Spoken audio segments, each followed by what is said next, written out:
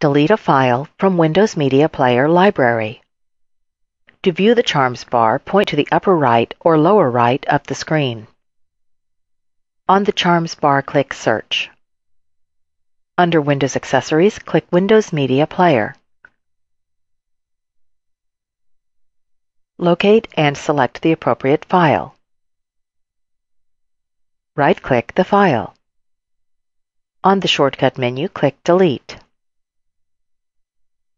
To delete the file from the library only, select the Delete from Library Only radio button.